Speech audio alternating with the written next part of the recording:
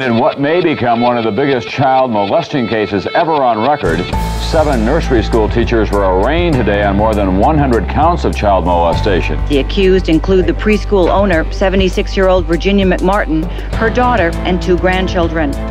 Finding out just what happened to the McMartin preschoolers in Manhattan Beach, California would spark a national media obsession.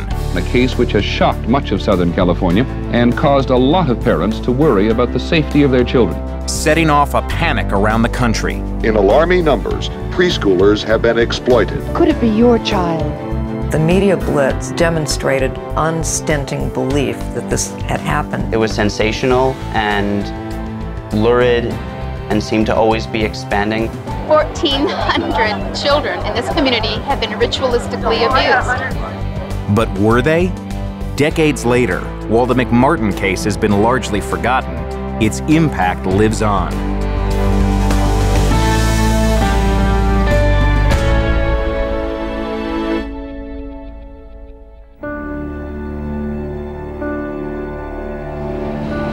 The McMartin Preschool in Manhattan Beach as it looked when we photographed it discreetly just three weeks ago.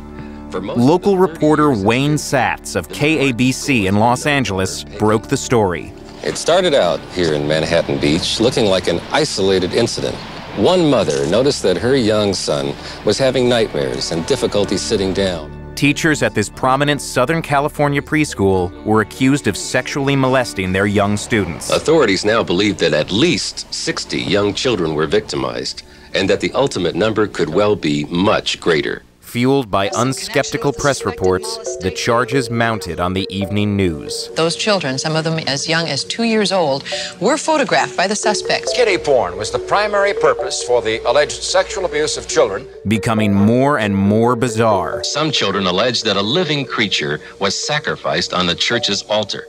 The truth about Satanism is they truly do use blood and they mix it with urine and then they also use the real meat, the real flesh. This is what makes Satanism true. And this is what 1,200 molested kids in the city of Manhattan Beach have told the sheriff's department.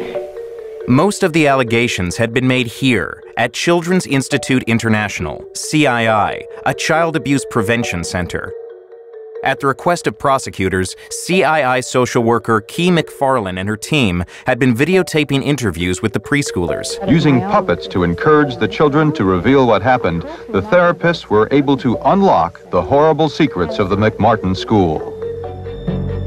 Virginia McMartin, her daughter, two grandchildren, and three other teachers were ultimately indicted on more than 300 counts of molestation.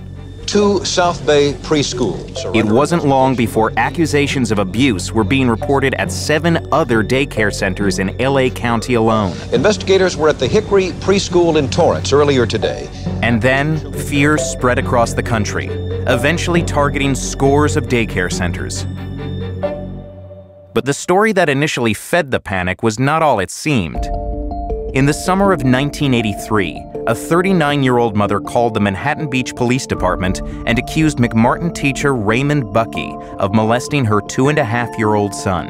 In the DA's office, all kinds of doubts developed, particularly about the fact that the mother of the first complaining child was psychotic, but they just kept on going. It was like the Titanic, it was like a roller coaster or a ship that just was out of control and couldn't stop.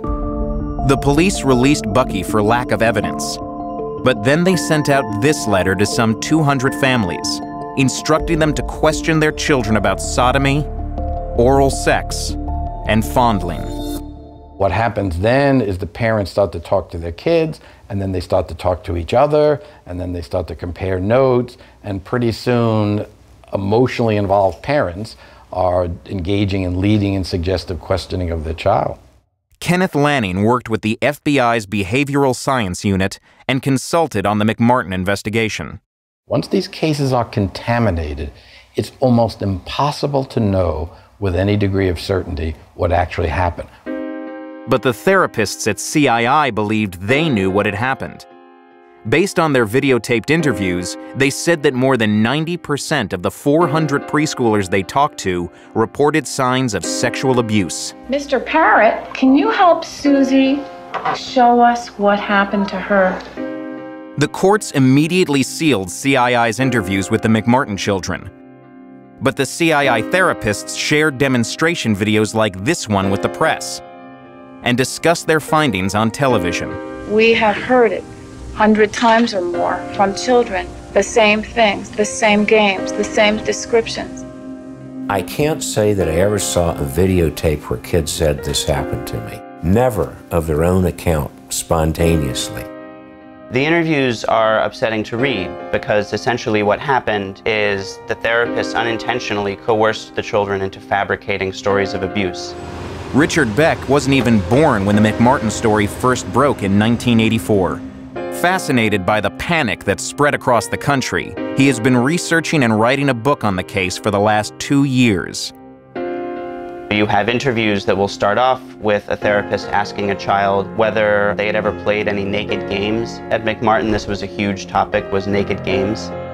And the children initially say no. The therapist, though, didn't accept those answers. So then they repeat the question. And then they repeat it again. Eventually, the children realize that their interview is never going to be allowed to end until they start giving the interviewer the kind of answer that she wants to hear.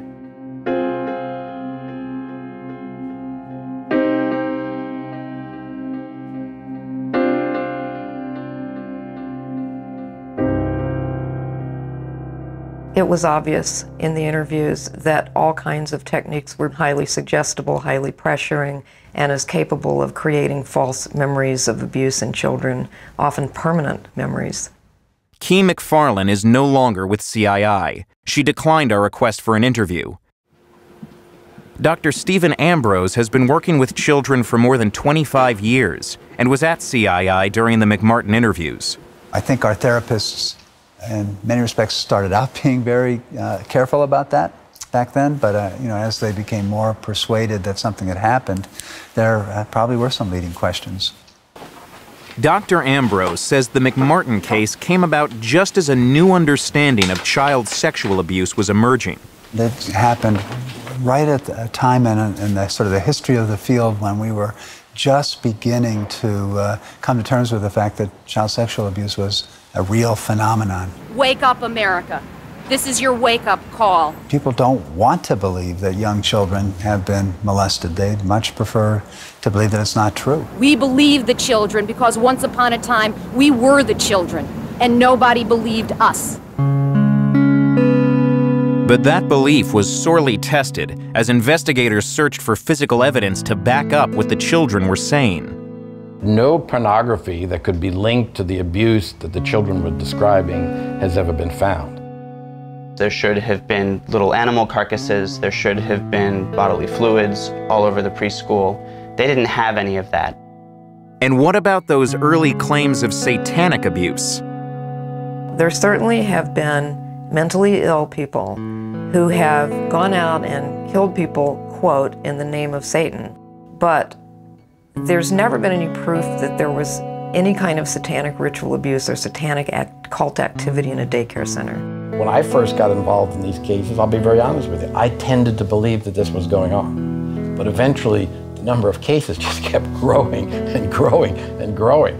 And at some point, I came to the realization this many people can't be doing this to this many victims for this long and not leaving any corroborative evidence behind. It just doesn't work that way.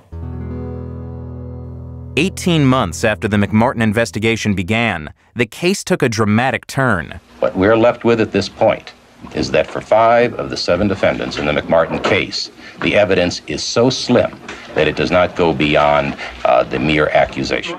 So in April of 1987, nearly four years after the first accusation was made, the case against the two remaining McMartin defendants, Raymond Buckey and his mother Peggy McMartin Buckey, finally went to trial.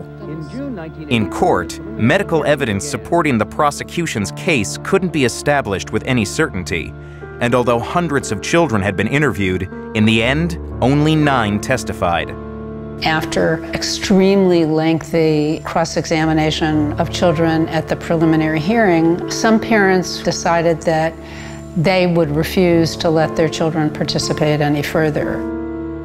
Through it all, the Buckeys remain steadfast about their innocence. True, when I'm very nervous, I probably have said some things that are not quite correct, and I'll grant it and I'll admit that. Including, including Mr. Buckey, whether or not you molested children in this case? No, Mr. Rubin, I know that, that I did not molest children ever in my life. The trial lasted nearly three years, and in January of 1990, We, the jury, in the above entitled action, find the very defendants not guilty. The children were never allowed to say in their own words what happened to them. And to me, that was crucial.